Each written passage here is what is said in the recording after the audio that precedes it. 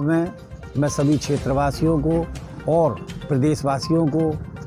हार्दिक शुभकामनाएँ देता हूँ नववर्ष की और मैं सभी क्षेत्रवासी और प्रदेशवासियों से अपेक्षा करता हूँ आने वाले टाइम में जो 2022 में चुनाव आ रहे हैं, उसमें पंजे का बटन दगा पर कांग्रेस को चुनाव में जिताएँ और 2022 में आने वाले समय में विधानसभा में कांग्रेस की सरकार बनाएँ। जय हिंद, जय भारत, जय उत्तर